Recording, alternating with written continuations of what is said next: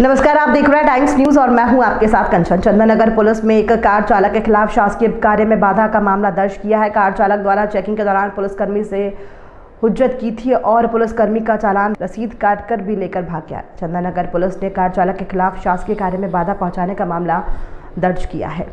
मामला चंदनगर थाना क्षेत्र के फूटी कोठी चौराहे का है, जहाँ यातायात पुलिस द्वारा वाहनों की चेकिंग की जा रही थी। उसी दौरान अल्टो कार चालक द्वारा सिग्नल तोड़ दिया, जब पुलिस ने रोककर उस पर चालानी कार्रवाई करना चाहिए तो वो पुलिसकर्मी से हुज्जत और बहसबाजी करने लगा।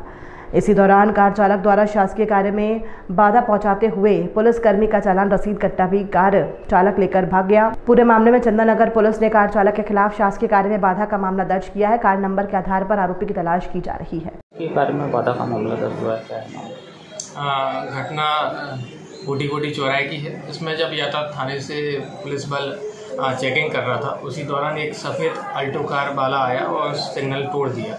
इस पर से उसे यातायात थाने के पुलिस वालों ने पकड़ा और उससे मतलब यातायात संकेत जो भी थे तोड़ने संबंधी चालान कटवाने का बोला तो पुलिस वालों के साथ बहसबाजी करने लगा हुज्जत करने लगा। और शासकीय कार्य में बाधा पहुँचाने लगा इस पर से जब उसे समझाया गया तो वह व्यक्ति पुलिस के साथ और भी झगड़ा करने लगा और उनके हाथ में से एक रसीद कट्टा छुड़ा कर ले गया है।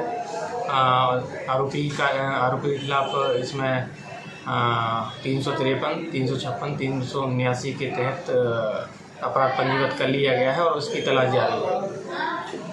टाइम न्यूज़ देखिए, अब आपके मोबाइल प्ले स्टोर से डाउनलोड करें।